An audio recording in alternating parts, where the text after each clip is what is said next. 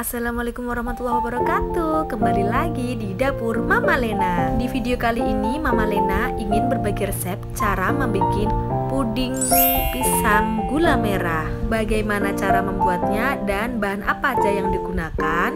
Yuk kita simak videonya bunda. Sebelumnya jangan lupa like, komen, dan subscribe ya.